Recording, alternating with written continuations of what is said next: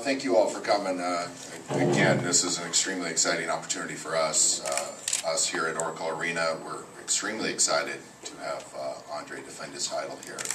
Local, local kid, doing well. We've watched him progress through the years, and uh, I, am telling you, this is one exciting fight. I really appreciate everybody coming out and, and joining us, and uh, and everybody get uh, get out here September 8th. It's going to be a knockdown drag out.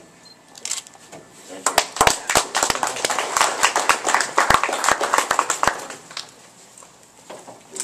I like that. Knock down, drag out you know, we, I, I do want to also thank one of our uh, event sponsors, Corona, and I know that we're still speaking to a few other sponsors that want to be attached to this event, so hopefully we get them on board in the next uh, few weeks.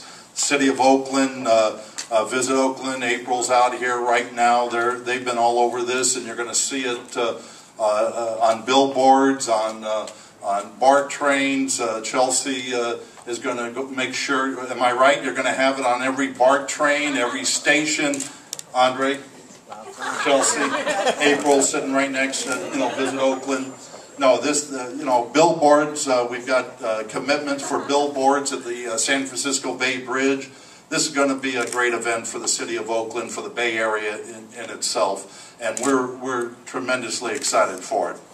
Um, one of the, uh, one of the key things when you get to this level. You want to always make sure that um, everything is, is first class, top of the line, and, and with the best. And in this case, uh, old friends of ours uh, in the Andre Ward business, when uh, Andre won the gold medal in 204, he made his debut on HBO. Um, we had a great relationship with him, and here we are having this uh, fight with Chad Dawson September 8th. It's going to be on HBO, Championship Boxing. I want to bring up the Executive VP of HBO, Kery Davis. Kery?